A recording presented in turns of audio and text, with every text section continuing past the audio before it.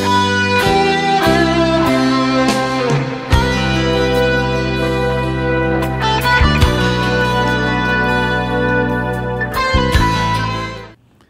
وقت شما عزیزان به خیر و شادی باشه. در هر کجا که هستید. معمولا وقتی از کسی درخواستی داریم احتمال موفقیت موافقت آن شخص نسبت به نیازمان برابر است با مقدار علاقه او نسبت به خود. و هر چقدر که آگاهی ما از عشق و دوستی او به خود بیشتر باشد احتمال پذیرش او را برای درخواست خیش بیشتر می‌بینیم.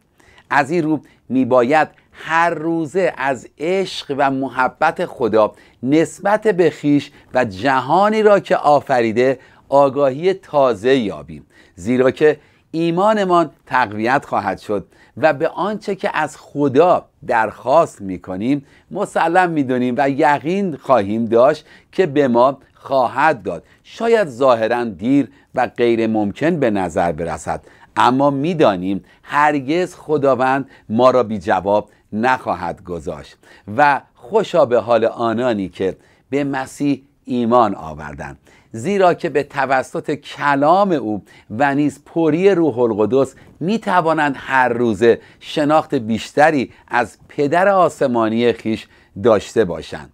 انجیل یوحنا 17 25 26 عیسی مسیح اعلام می‌کنه ای پدر عادل جهان تو را نشناخت اما من تو را شناختم و اینها شناختند که تو مرا فرستادی و اسم تو را به ایشان شناسانیدم و خواهم شناسانید. تا آن محبتی که به من نمودی در ایشان باشد و من نیز در ایشان باشم. لطفا نگاهی داشته باشید به مزمور 33 که نویسنده از اون آگاهی که از خدا داره حتی نوع پرستش رو به ما میآموزه و اون رابطه عاشقانه و اینکه چگونه میباید در حضور خدا رفت و از خدا آنچه که لازمه زندگیمون هست با ایمان دریافت کنیم. پس هر روزه در حضور خداوند او را بیشتر از گذشته بشناسیم.